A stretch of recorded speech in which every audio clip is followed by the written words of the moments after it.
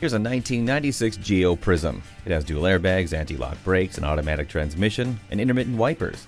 This one's attractive and just looking for a new home. It's the perfect inexpensive choice to park in your family's driveway.